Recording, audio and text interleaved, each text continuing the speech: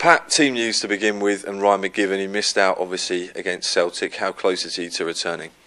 Yeah, he's trained today, so um, obviously we didn't want to risk him against Celtic and maybe do some long term damage. So he didn't have any. We had him scanned and there was no real damage to the hamstring, just a bit tight in it. So he's trained his full training session today. So he's obviously if there's no reaction to that, he'll come back into the squad tomorrow. So that hands you a bit of a selection dilemma, doesn't it? Because Lewis Stevenson put in another great shift.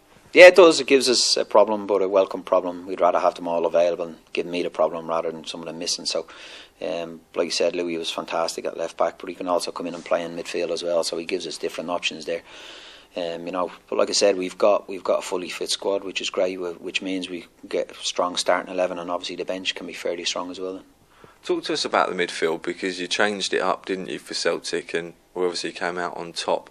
Uh, looking at the, the five man midfield, you've tried it a few times. Perhaps it, it hasn't worked on some occasions. It, it, certainly did on Saturday. What can we expect to see against Hearts?